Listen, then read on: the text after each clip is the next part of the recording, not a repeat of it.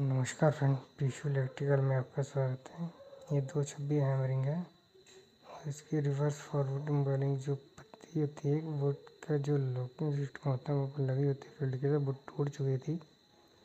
ये हमने जो हाथ में बॉयल लिया है, इसे हम लगाएँगे। फ़ील्ड के साथ लगे के अंदर से बाहर निकालिए और इसी तरह हम पत्ती से एक साइड लगा देते हैं। ये हमने आर्मेचर वगैरह को फिटिंग कर ली है इसकी।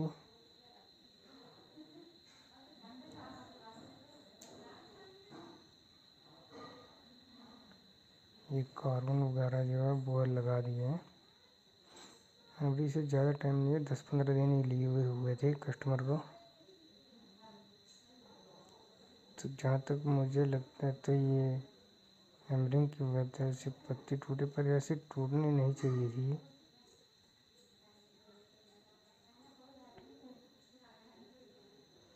ये हम दूसरी तरफ़ की एक वायर लगा ली है। चेक कर लेते हैं। सीरीज़ से चेक करेंगे इसे। एक साइड की बोल नहीं रही है कुछ। करंट आ नहीं रहा है इसमें कार्बन से कार्बन तक तो आ रहा इसका जो सेंटर का था रिवर्स वाला, वो हाफ़ पर था।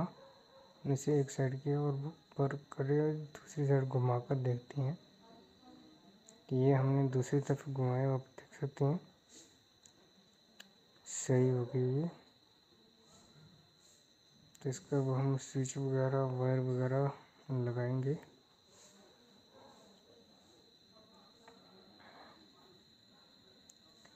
ये स्विच का जो एक साइड लगा देंगे। जो भाई नज़दीक पड़ती है, वही लगाए। ज़रूरी नहीं कि ये वाली वहीं पर लगानी है। कि जो नज़दीक पड़ती है वैसे वही लगाएँ।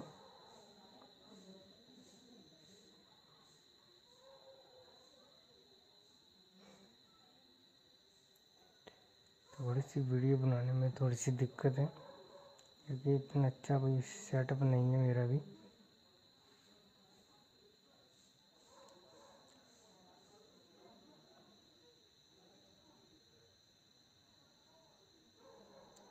दूसरी तरफ़ का लगा दिया अब हम इसमें जो टूक और वायर इसकी है, इसे लगाएँगे।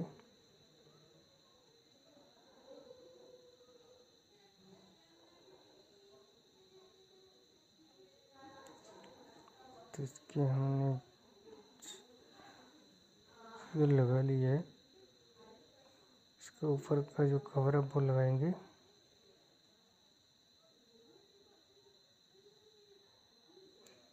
पहले जो वायर की जो नट होते हैं, जिनसे वायर कसी होती है क्लम्प वायर क्लम्प वो लगाएँगे।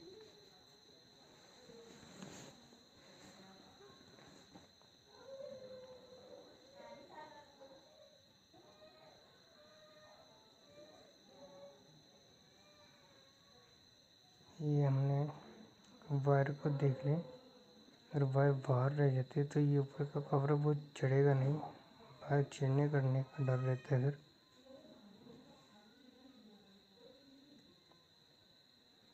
तो कवर चढ़ानी है।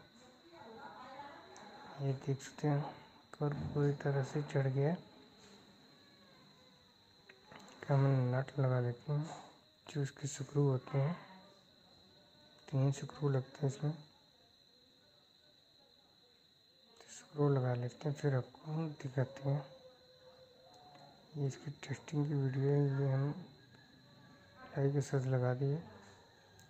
आप देख सकते हो, ये वर्क कर रही है।